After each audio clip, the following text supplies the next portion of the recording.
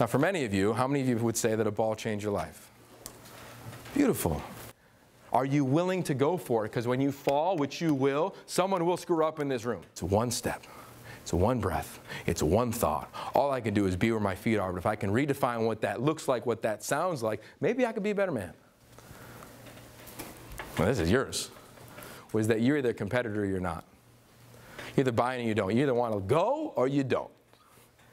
And you got to decide if you want to do it everywhere. The last thing I'll leave you with is that's when I think you can employ the principle of a guided missile.